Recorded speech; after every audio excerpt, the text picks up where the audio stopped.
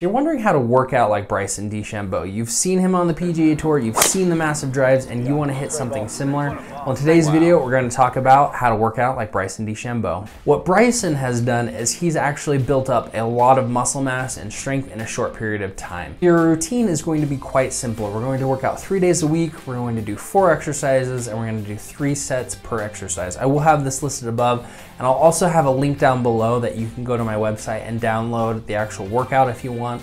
But really, you just wanna make sure that we are squatting, we are pressing, we are pulling, and we are hinging. So for the exercises for this, for an example, you can swap these out if you really want, but we're going to squat, we're going to push press, we're going to row with a barbell, and then we're also going to do RDLs for I hope you're liking this content so far. If you are, please hit that like button, subscribe to the channel, and let me know down below what other golf content you wanna see from me on this channel.